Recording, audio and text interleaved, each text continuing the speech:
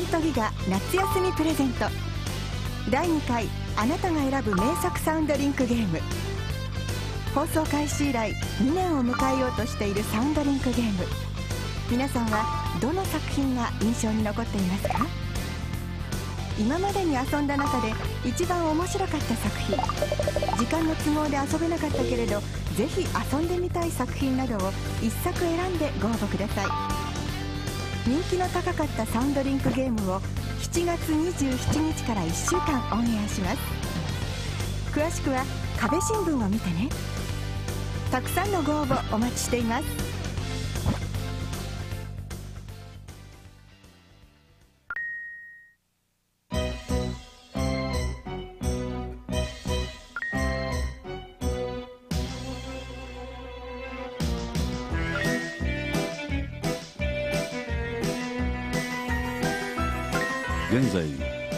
私たちは科学技術のおかげで快適な暮らしを送っている。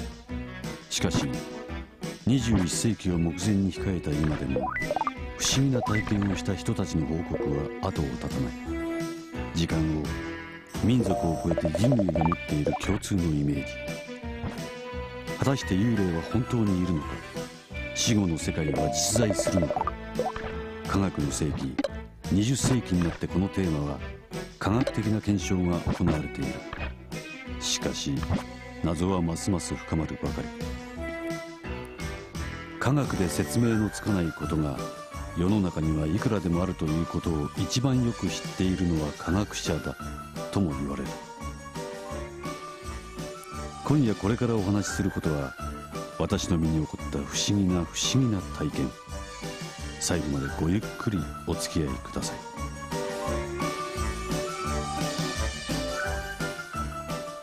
の番組はラジオドラマ風電子小説です不思議な体験をした人たちの声に耳を傾けてください。きっとあなたも同じ体験をすることができるでしょう。サテラビューでお楽しみの方はお話の途中にそこから先の行動を選ばなければならないところが出てきます。急いでこっちだと思った方を選んでください。彼らの本当の体験を知るために。うまくいけば真のお話を聞くことができるでしょう。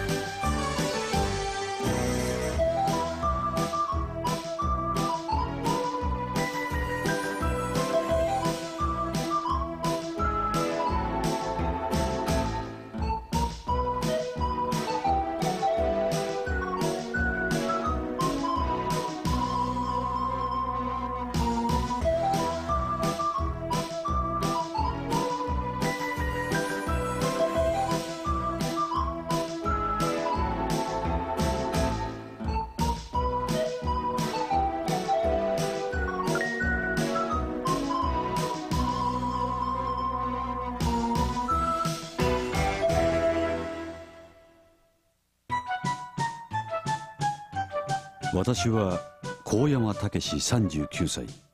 G 新聞の記者。先日妙な頼りを受け取り R 研究所というおかしな書斎に出かけた。そこは研究所といっても名ばかりで一部屋だけの空間におびただしい量の日記があるだけだった。唯一の研究員とおぼしき老人の話によるとそれらの日記は不思議な体験をした人たちのもので読んでいると彼らの声が直接頭に響いてくる不思議な日記だった。特に急ぎの取材があるわけでもないので今日も行ってみるとするか。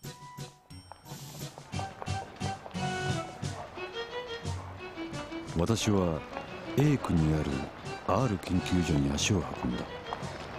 研究所が入っている建物は3階建ての古いもの。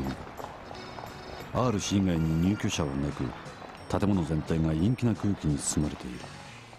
その R 市に至ってはますます不思議なムードを持った謎の人物だ。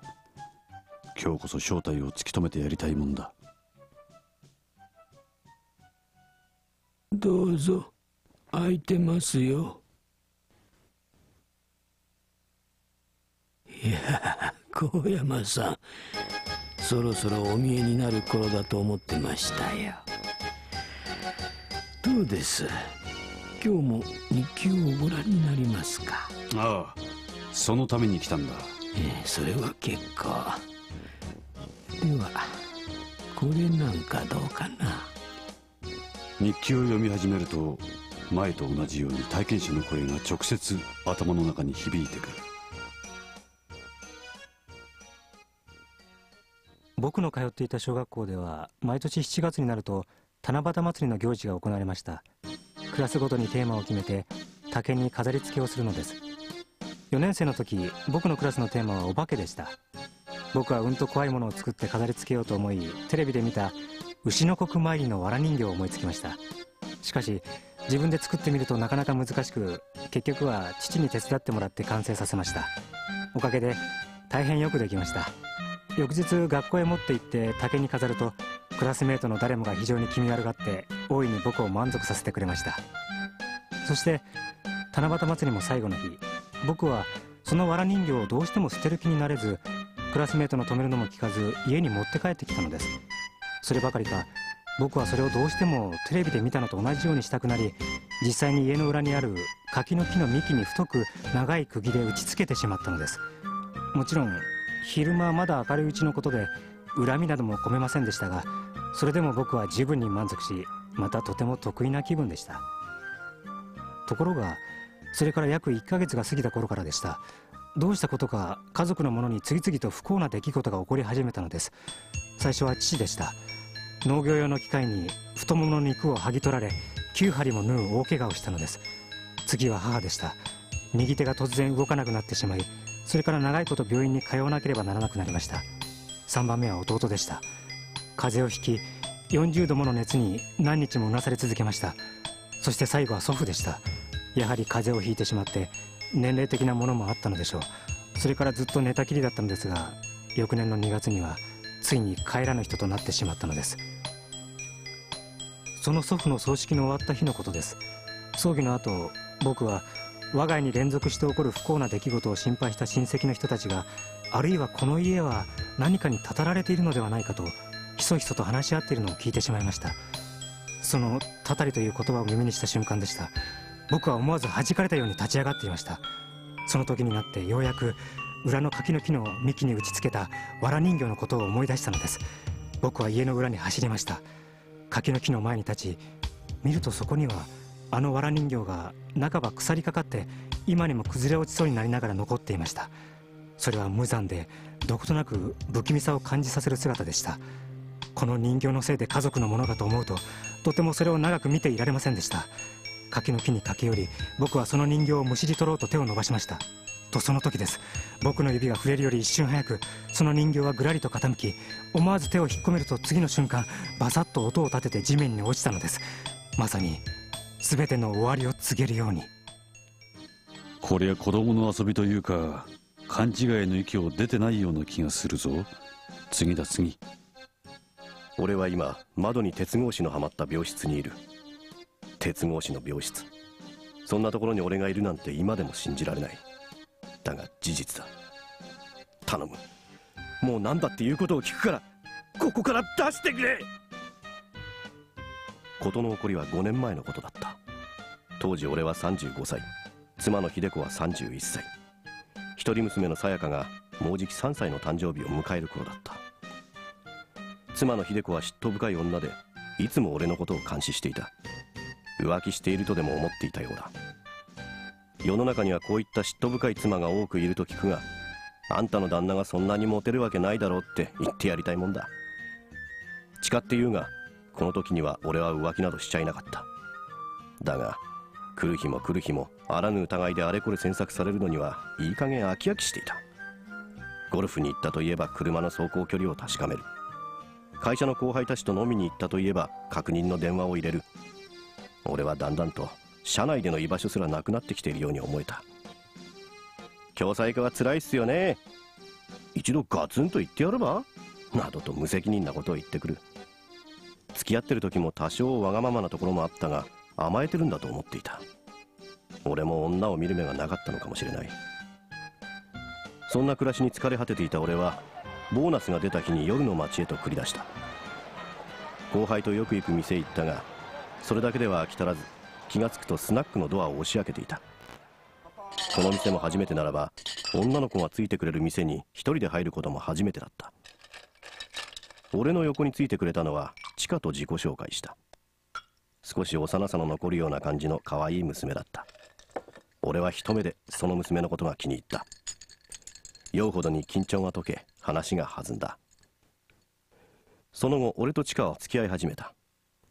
最初のうちはうまくいっていたが秀子のチェックをかいくぐるのは詐欺師でも不可能だろう。とうとう彼女の知るところとなり家庭内はだんだんと修羅場と化していった。別れる別れないといった生臭い話で揉め始めた頃には明るかった娘のさやかも怯え始めた。一日中黙ったまま卑屈な目を大人に向けるようになった。仕事妻地下娘。もう何が何だか分からなくなり始めた頃俺は恐ろしい計画を立ててしまった。妻を殺す。あいつを殺して地下と再婚しさやかを元の明るい子にするんだ。信頼し合える楽しい家庭を作るんだ。冷静さを失った俺はもうこの考えから逃れることはできなかった。あいつと別れる決心をしたよ。と偽りさやかが起きてしまわないようにと深夜に2人で車で出かけた。妻は信じないを連発し口汚く俺を罵った。車は都会を離れた山あいの湖にたどり着いた。大きくはないが意外に水深が深いことで知られている。昼ならさぞ素晴らしい景色が望めるであろう展望駐車場に車を止めた。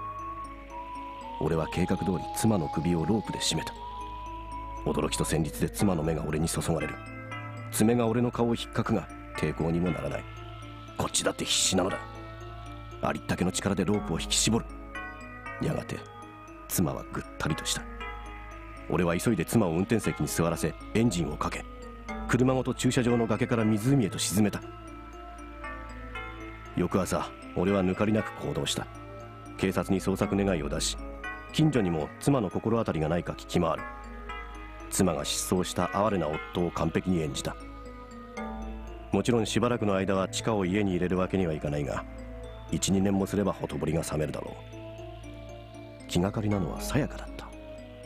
母親がいなくなって寂しいのはわかるがいつまでもあの冷たい表情を俺に向けてくる。まるで全て知っているとでも言いたげなその眼差しが俺の胸を突き刺す。そんなある日のことだった。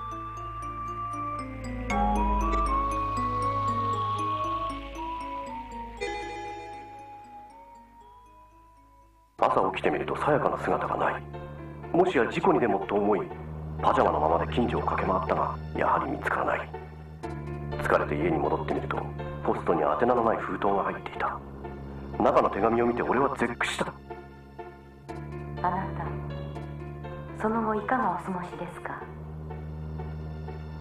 私はあの後自力で脱出して近くの病院で治療を受けていたらしいのです。でも長い間記憶が戻らず手がかりもないまま警察も困っていたようです。私は先週あの恐ろしい記憶がよみがえりました。許せなかった。呪いました。でもベッドに横になっていると思い出すのはさやか。彼女にも父親は必要だ。たとえあなたのような鬼でもさやかの父親を犯罪者にしてはいけない。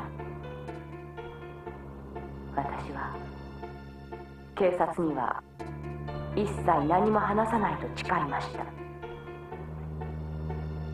このまま日本のどこかでひっそりと生きていきます。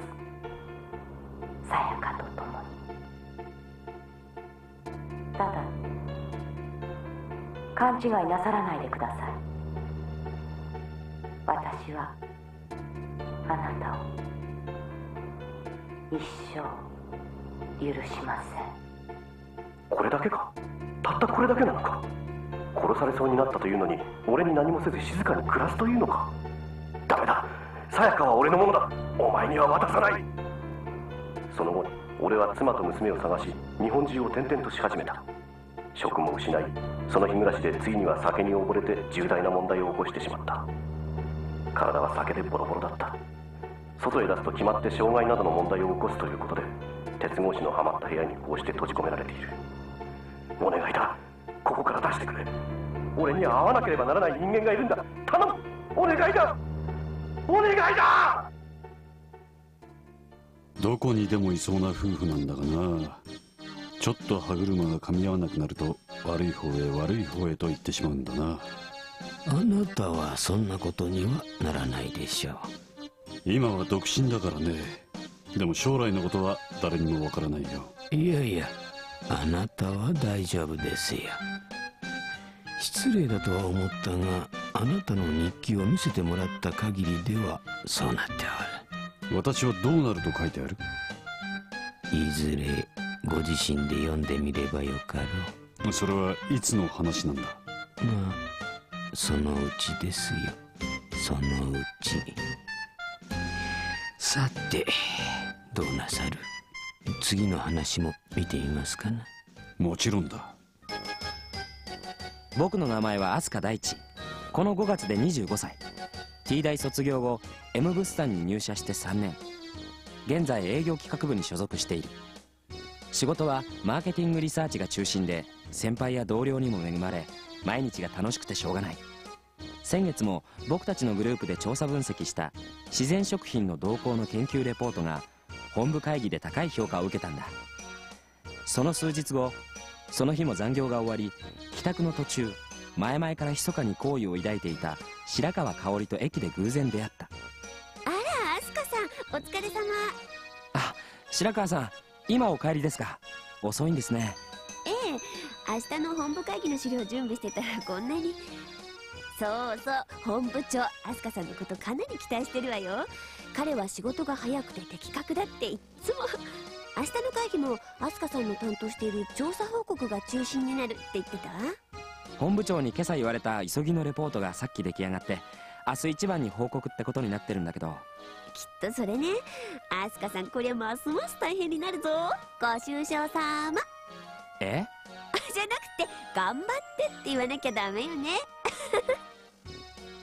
ああ香織君明日会議の準備ができたら忘れず営業企画部へも連絡を入れるように。はい本部長かしこまりました。その日をきっかけにして僕たちは社内の誰にも気づかれることなくデートを繰り返すようになっていった。毎朝出勤途中にどちらからともなく携帯電話で連絡を取り都合が合えば帰りにデートといった日が続いた。そんな夢のような日が過ぎていった。そんなある日のこと。いつものように携帯電話が鳴った。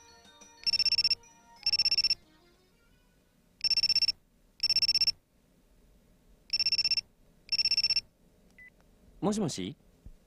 慶証券の岩田ですがえ？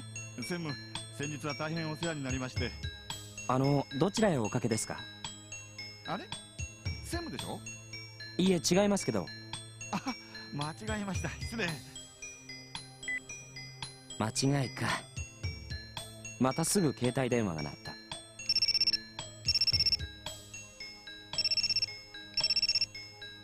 た。もしもし？慶証券の岩田ですが専務？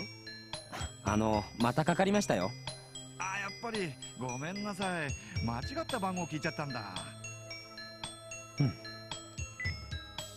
そしてその日の帰宅途中のことだった。その日は佳境に入った研究が最後の詰めではかどらず残業。その後会社を出たのは夜の10時を少し回っていた。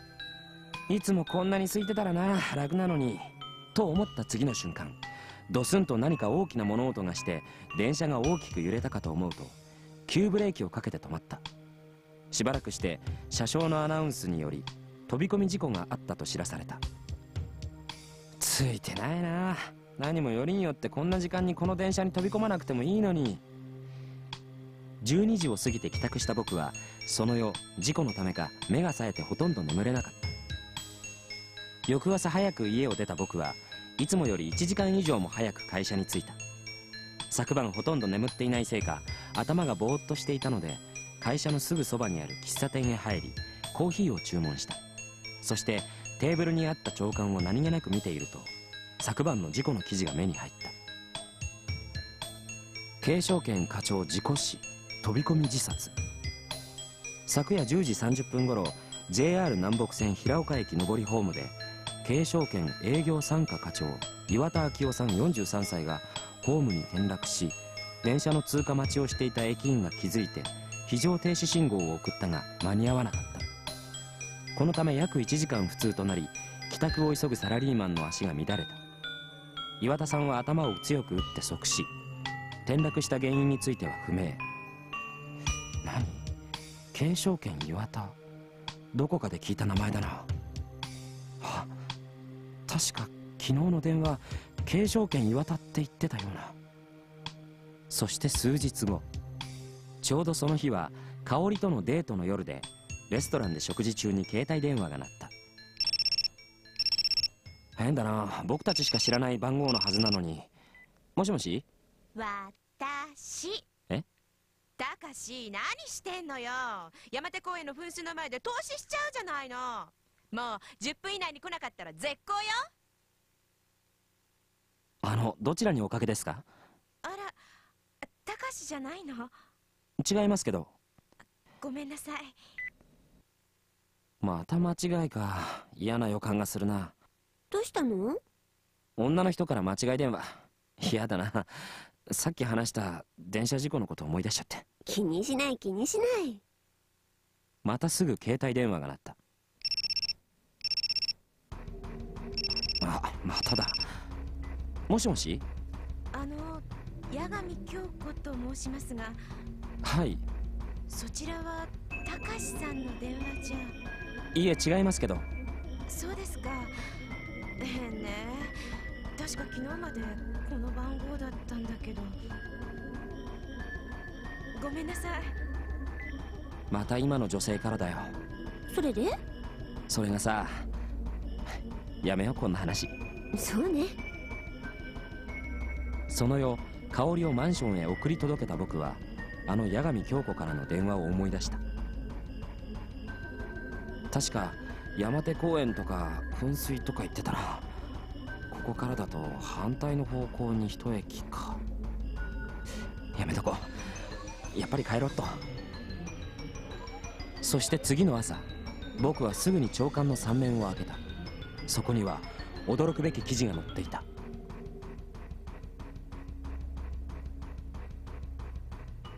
女性事務員山手公園で変死体昨夜10時30分頃帰宅途中のサラリーマンが山手公園の噴水の前を通りかかった時その噴水の中に顔を沈めて死んでいる若い女性を発見した。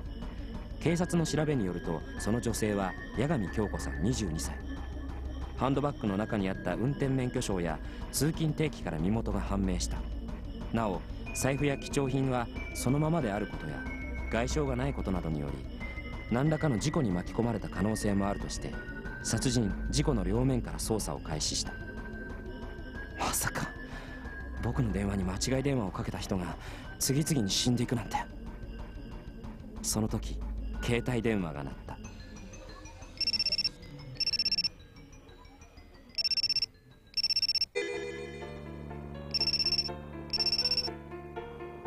この時間ならきっと香りからだ。もしもし？あの香りです。はあよかった香り。今どこ？あれ？あなたどなた？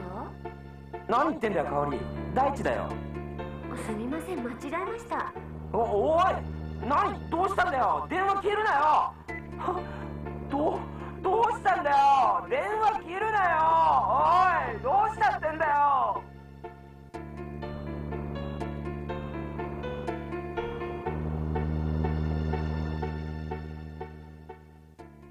この後どうなったんだ？何も書いてありませんな。想像するしかないってわけか。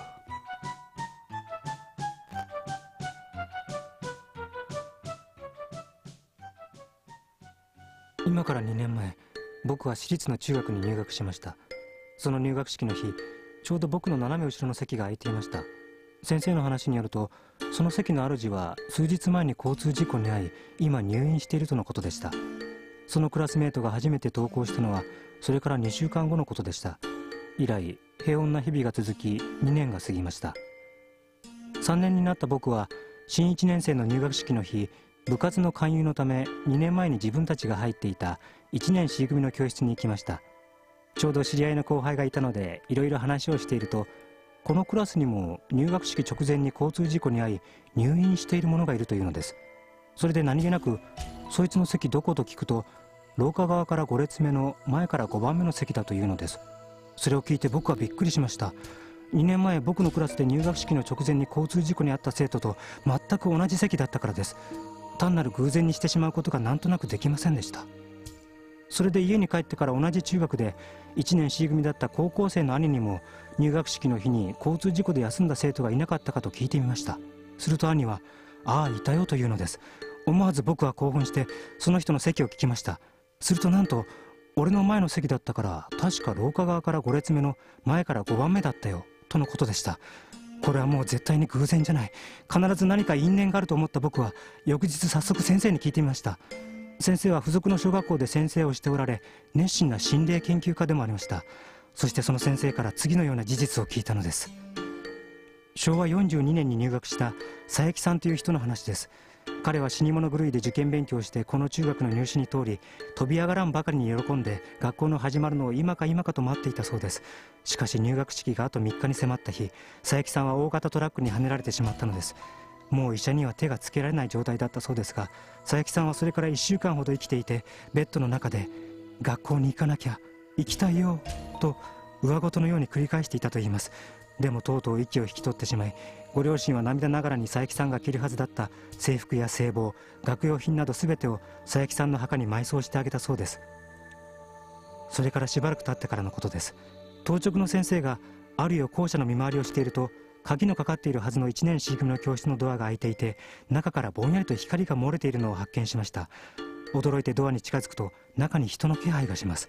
そしてひたひたと足音がして小さな押し殺したような笑い声とともに「楽しいな楽しいな」という声が響いてきたそうです。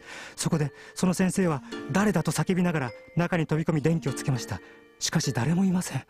ただ教室の床に無数の泥靴の跡と本当なら佐伯さんが座るはずだった廊下側から5列目前から5番目の机の横にお墓に埋葬したはずの佐伯さんの上履きだけが転がっていたそうです。以来いまだに1年 C 組の教室では深夜時折誰かの足音や笑い声が聞こえたりきれいに拭いたはずの黒板に手形がベタベタとついていることがあるそうです。そして何より困ったことに何年かの周期で1年 C 組の廊下側から5列目前から5番目の席に座ることになっている生徒が入学式の数日前に交通事故に遭うということが起きるとのことでした。またその話に出てくる当直の先生というのが実は前に述べた心霊研究家の先生でありその事件をきっかけとしてなお一層心霊研究に熱心になられたということもその時お聞きしました。続けて行きますぞ。皆さんは予知夢というのをご存知でしょうか？夜寝ている間に見た夢が後日現実のものになるというものです。私はこの手の夢を子供の頃から何度となく見てきました。初めのうちはお友達が怪我をするだとかお母さんが風邪をひいて寝込むとか小さなものでした。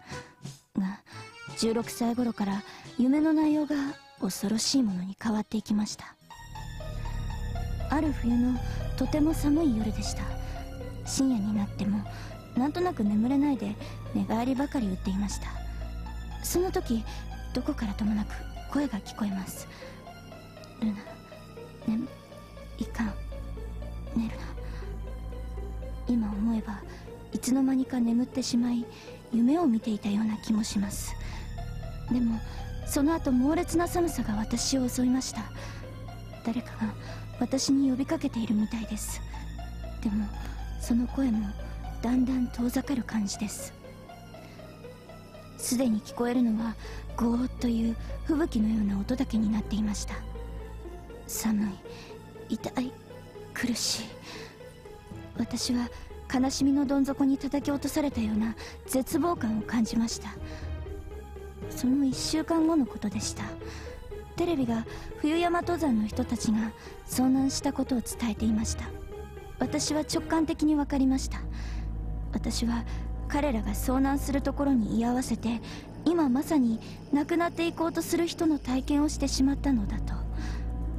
残念だけど彼らは助からないことも同時に分かってしまいました。春になって彼らの遺体は見つかりました。私の感じた通り登山隊は全滅でした。私は溢れる涙をこらえることができなかったのを覚えています。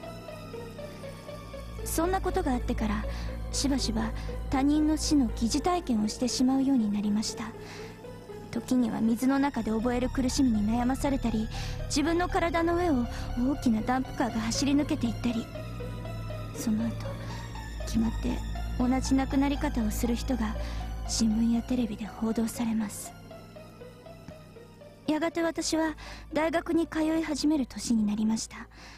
その頃でも予知夢は時々は見ていたのですがもうそんなに怯えるほどではなかったようです。ただアメリカへの留学が決まった頃からはよく同じ夢を見るようになりました。周りの雰囲気からアメリカのようです。コンビニから出てきた男が逆上してめったやたらと銃を撃ちまくっています。次の瞬間胸にすごい衝撃と激痛が走り私の体は後ろへと飛ばされます。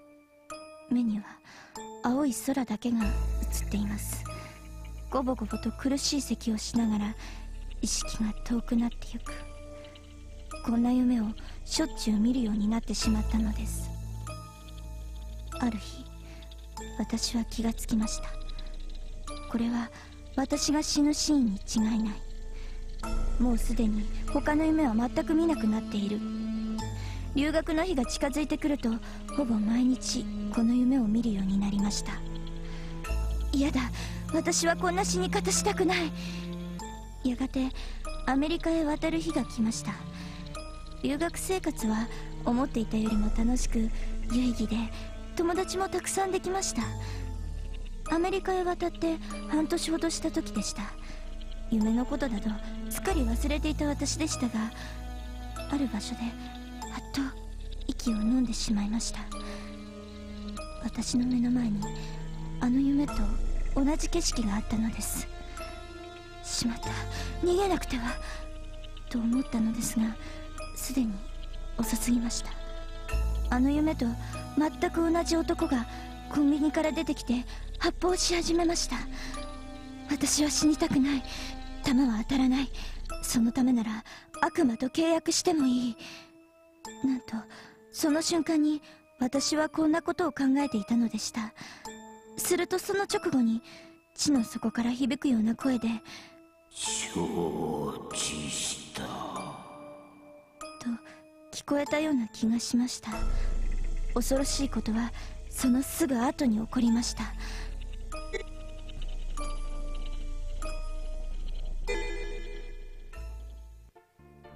鋭い金属音が聞こえました。私は何度も夢で見た光景を思い出し次に来るであろう胸への衝撃を覚悟しました。死ぬ。と思って目を閉じていたのですが衝撃はやってきません。恐る恐る目を開けてみると銃の弾が空中に止まって見えます。いえ止まってると思ったのは一瞬だけでよく見るとゆっくりと動いています。その動きもだんだんと遅くなっていっているのです。銃を撃った男も周りの人もみんな止まっているように見えます。今なら逃げられる。しかしこの考えは浅はかでした。私の体は周りの人同様ほとんど動きませんでした。弾を見ながら私は考えました。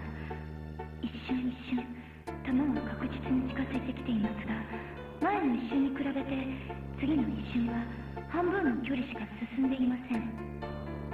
これでは永久に弾丸は私の胸に飛び込むことはないのかもしれません。私だけが周りの人と違う時間の中に入り込んだようです。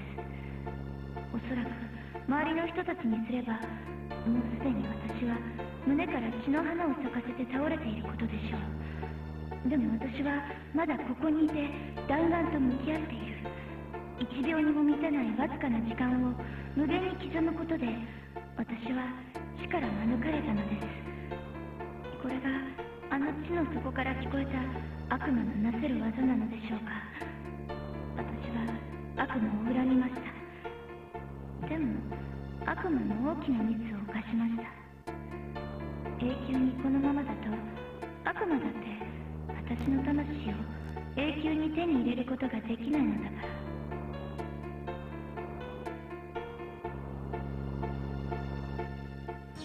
これはどうもね。あんたこんなのが好きなのかい？不思議なこともあるもんじゃな私は小学2年の時近所の子と遊んでいてブロック塀から落ち後頭部を強打したことがあります。ちょうどその日は日曜日で病院には翌日行くことになりました。私の奇妙な体験はその時から始まったのです。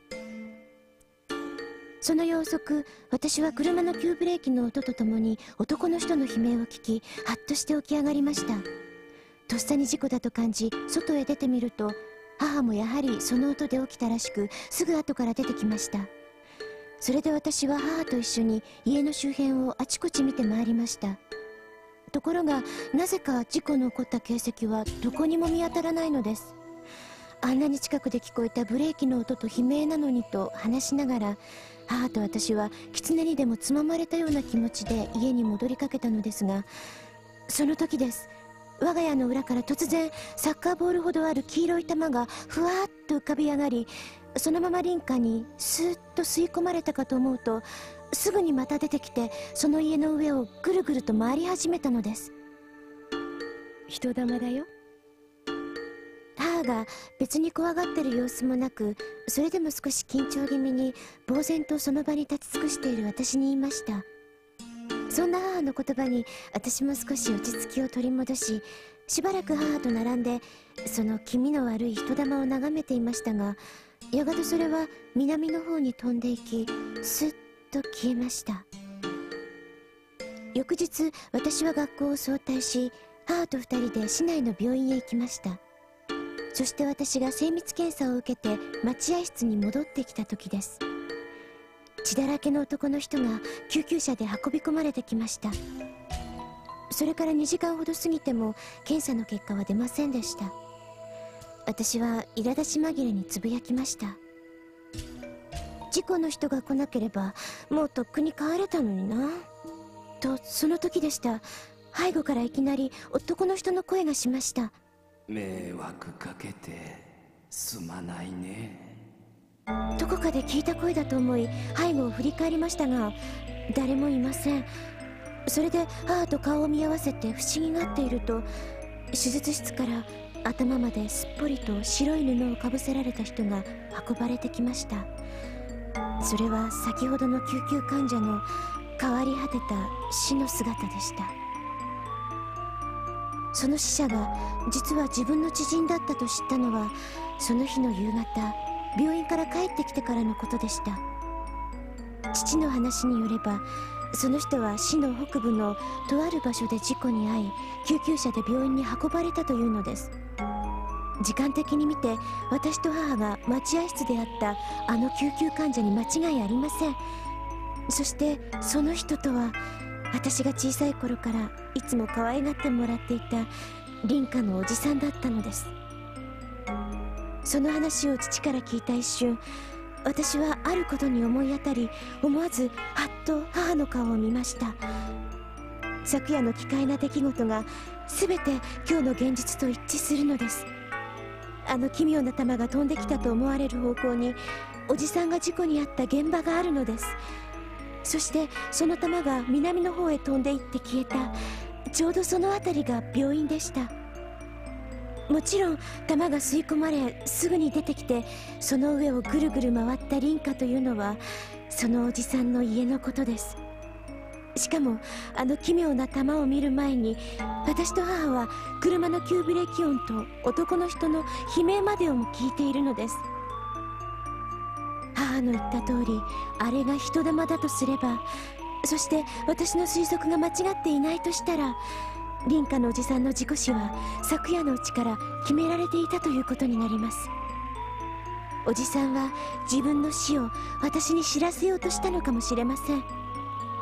そう思うとおじさんがどれほど私を可愛がっていてくれたかが感じられ思わず目頭が熱くなりました。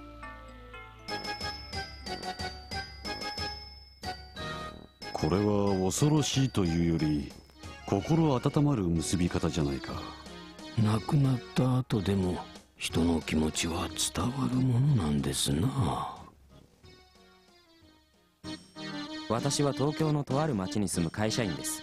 都心まで JR を使って通っていました。いましたというのには訳があります。それを今からお話しいたしましょう。私の会社は丸の内の一角にあります。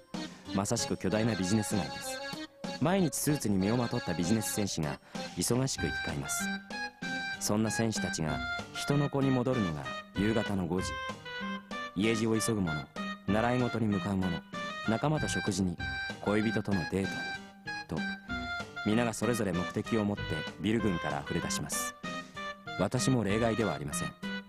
気の合う仲間たちとよく赤ちょうちんへ行ったりしました。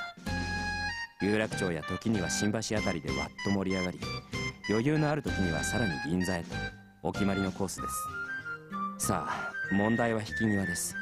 東京の電車は最終ともなると朝の通勤ラッシュ並みに混雑します。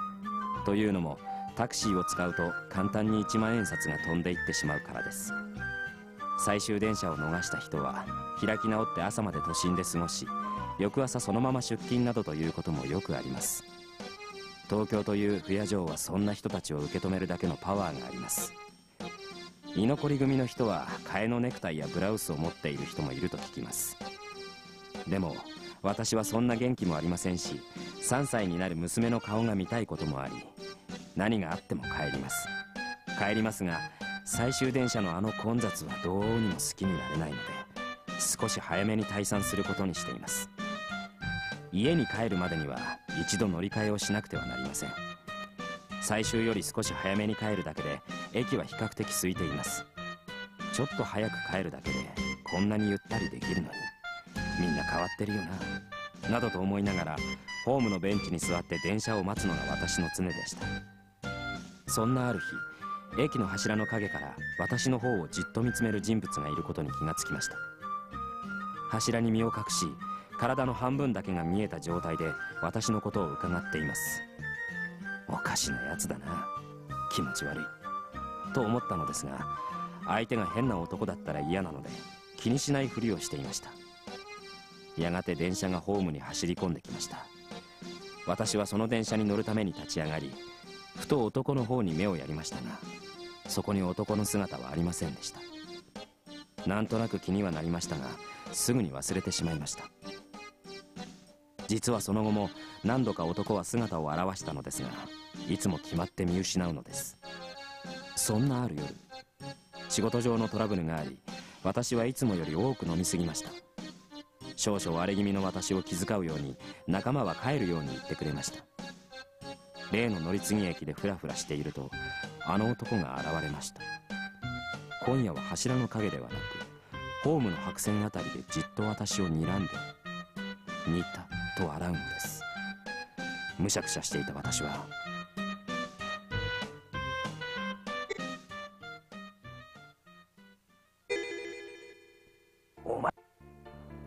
何にやついてんだよ。お前一体誰だ。そう言って男に殴りかかりました。確かに殴りかかりました。男の胸ぐらをつかもうとしながら駆け寄ったのですが私の手は何も触れることなく宙を掴んでいました。勢い余った私はホームの端から線路上の空中にいました。ちょうどその時電車がホームに滑り込んできたのです。きしむブレーキの音私の目の前にみるみる近づくヘッドライト最後に記憶しているのは銀色に輝くレールだったような気がします。なぜだか背後で男の笑う声が聞こえたような気もします。男が何者だったのか今私にはよくわかりません。まるで他人事のよう。自分の葬式を見届けた私はその後こうして毎夜駅の柱の陰に隠れて私のような人を探しています。お酒に酔ってベンチでぼーっと電車を待っている無防備な人。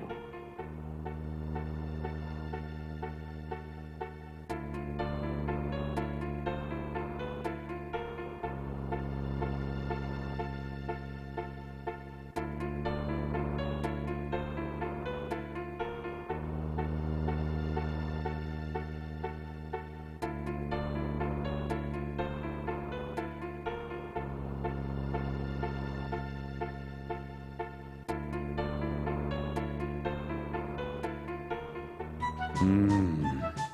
気の毒というかなんというか。おおあなたほどの人が同情ですか？同情じゃないよ。この話は僕が中学1年の時友人の内田君と一緒に叔父の家に遊びに行った時のことです。夜中の3時頃僕は急にお腹が痛くなりトイレに行こうとしたのです。でも時間が時間ですし怖くてとても一人では行けません。そこで僕は隣に寝ていた内田君について行ってもらおうと思いました。彼を起こそうと肩に手をかけた時僕は内田君の体が妙に冷たかったのを覚えています。そして声をかけようとした時彼は音も立てずスーッとまるで浮き上がるようにして起きたのです。僕はなんだか変なやつだなと思いながらトイレに駆け込みました。さて用を足した後僕はトイレの扉を開けて外へ出ました。その瞬間僕は恐ろしさのあまり全身の毛が逆立ったような気がしました。なんと僕の後ろからついてきてくれたはずの内田君の姿はなくぽっかりと青白い人玉のようなものが浮いているのです。僕は思わずギャーという悲鳴を上げてしまいました。すると青白い物体はものすごいスピードで僕たちの部屋に入っていったのです。僕の悲鳴があんまり大きかったのでびっくりしたおじがその場に駆けつけてくれました。おじがしきりに「どうしたんだ?」と聞いても僕はガタガタ震えるばかりで声も出ません。ようやく少し落ち着き今あったことを話したのですが何かを見間違えたんだろうと言って相手にしてくれません。僕は恐る恐る一人で部屋に戻ってみましたが青白い物体はなく内田君が寝ているだけでした。翌朝僕は思い切って内田君に昨夜のことを話してみました。すると彼は僕と一緒にトイレについていった夢を見たというではありませんか。心霊科学の世界では寝ている間に一人でに幽体が抜け出る幽体離脱という現象があるそうですね。僕の拙い推理ですが僕の見た青白い物体は内田君の幽体ではなかったかと思っています。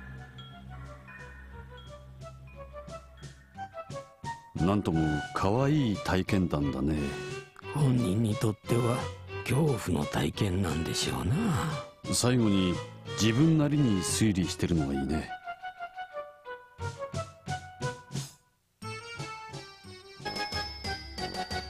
私は2年前に定年退職をしました。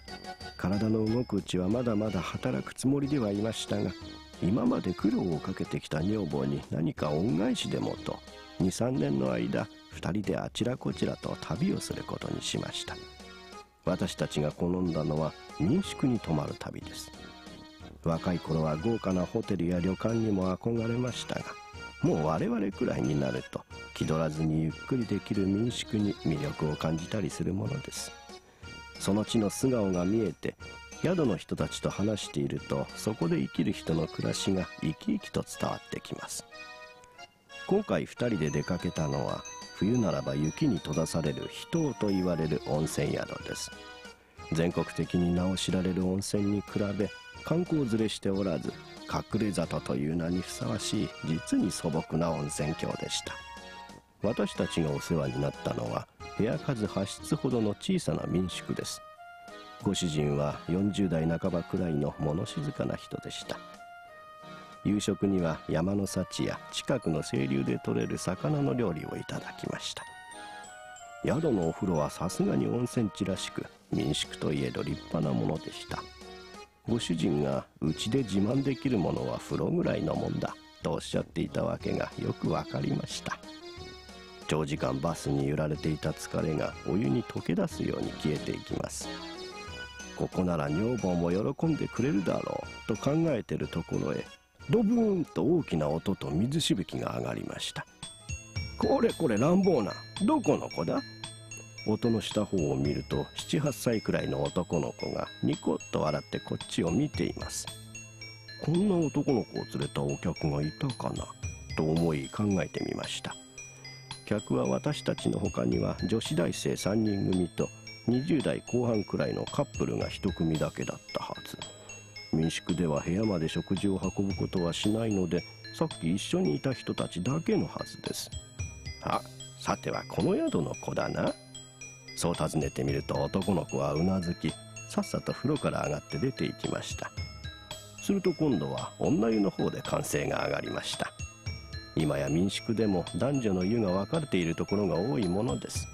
あの子はああやって泊まり客と遊んでいるのが楽しいのでしょう。床に着くまでの時間を私たちは1階の居間で過ごしました。ご主人を囲んでいろいろお話を聞いたり客同士が自己紹介したり和やかな時間が過ぎていきました。部屋に戻った私はふと妙なことに気づきました。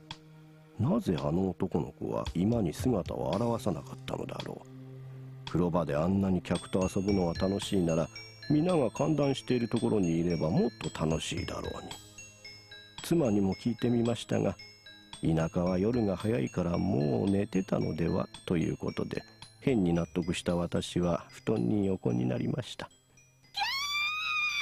つんざくような悲鳴が静寂を破りましたおそらくあの女子大生たちでしょう私たちもカップルも宿の主人やおかみさんまで全員が集まってきました女の子の一人が話すには夜中急に胸が苦しくなって目を覚ますと例の男の子が乗っかっていたというのです悲鳴を上げて我に返って周りを見ると男の子の姿はなかったと言います彼女はいくらここの子でもいたずらに程があると言って大変な剣幕です。坊主めまた来たのか。すみません。あの子は実は隣の宿の子でして時々うちにやってきてはいたずらしていくのです。厳重に抗議はしてるんですがね。ご主人は平誤りに謝ってその場は何とか収まりました。部屋に戻ると妻が「あのご主人嘘をついてるね」と言います。妻のこういった話がよく当たるのを私はよく知っていましたから嘘とはどんな嘘だろうと考えながら横になってるうちにうとうととし始めました。やがて。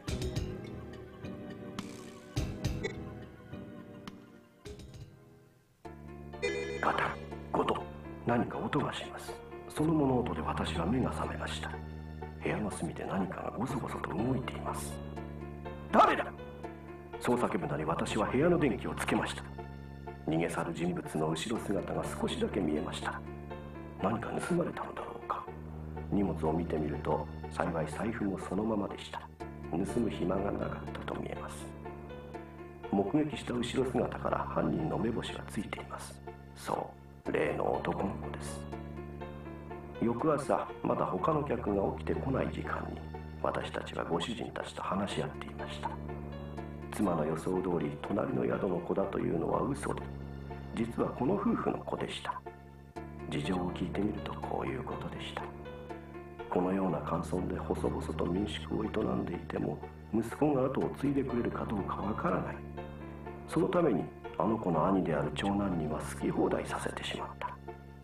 年の離れた次男は兄に憧れて自分もいつかは兄貴のようになると思っている様子。長男はとうとう都会でその筋の世界に入ってしまったらしい。どこで連絡を取っているのか長男の影響を受けどんどん悪びれていくことを夫婦は大変心配しているのだということです。きっと真面目な人間に育ててみせると懇願されて今回は何もなかったことにしました。しかし前途は厳しいものになるかもしれない。私にはなんとなくわかるのです。その宿にはその後訪れていませんがご主人からは年賀状が届いています。今年の頼りには悲しい知らせがありました。当時8歳だった弟君も今は15歳。都会へ遊びに出てきたところで非行は働き今鑑別所にいるということです。私はしぶしぶ鑑別所に足を運びました。敷地に入ると懐かしい顔が挨拶をしてくれます。私は7年ぶりで少年と相対しました。仕方ない。あのご主人とこの子のために再就職するか。私は定年で後にしたこの施設に戻ることを決意しました。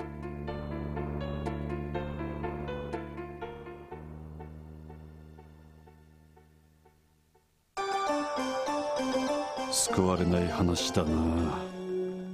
うん今日もこんな時間か。R さん。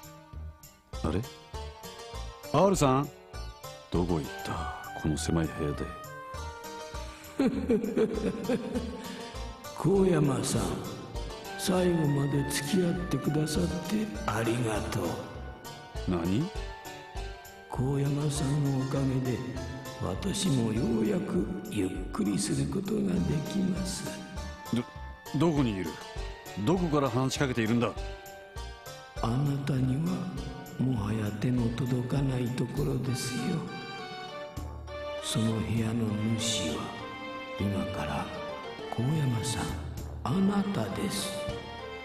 後のことは頼みましたよ。後のことって。おいちょっと待て。戻ってこい。私は家へ帰るんだ。悪い冗談はよせ 今日からはそこがあなたの家ですよ。帰る必要などない。どういうことだ？おい姿を見せろ！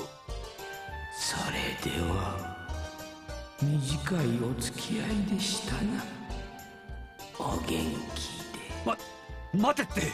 おいおい！R 氏の声が聞こえなくなって私はしばらく考えてみた。あれだけあった日記が全てなくなっている。どこをどう探しても出口がない。私が入ってきたはずの扉はどこにもない。だんだんと分かってきたぞ。私は R 氏によってここの管理人に指名されてしまったんだ。これから続々と集まってくるに違いない。不思議な体験を日記という形にまとめてこの書棚を埋めていくんだ。私が次の管理人を指名できるのはここの書棚がいっぱいになった時。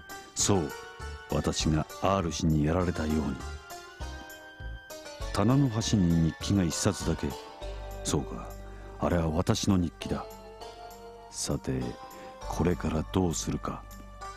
いずれやってくる次の指名のために候補者でも探しておくとするか。私にとって都合が良かったのは今でもこの手の不思議体験を聞きたがる人が多いということだな。この人たちの中から次の管理人を選ぶとしよう。この番組で紹介した体験は株式会社学習研究者の私の怪奇ミステリー体験1から3よりの引用が含まれます。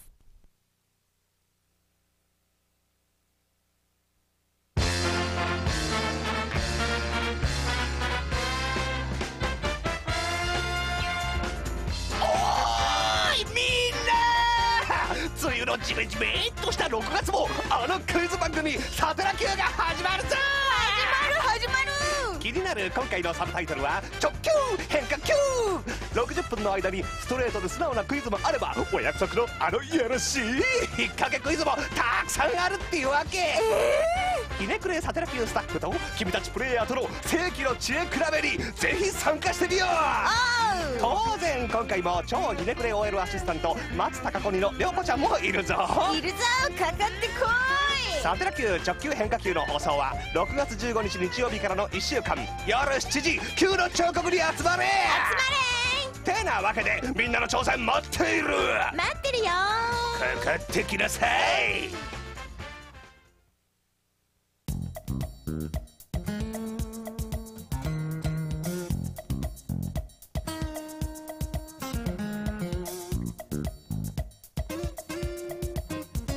ーファミコンアワーをお聞きの方へのご注意です。番組で受信したゲームやマガジンを8時以降も続けて遊ばれるときは音声に雑音が入ることがありますので一旦スーパーファミコンをリセットしてからお楽しみください。この後音声放送はセントギガ有料放送加入者のためのスクランブル放送になりますが引き続きデータ放送ではゲームマガジン太陽カセット向けデータの数々を深夜2時まで無料で放送しています。引き続きサテラビュー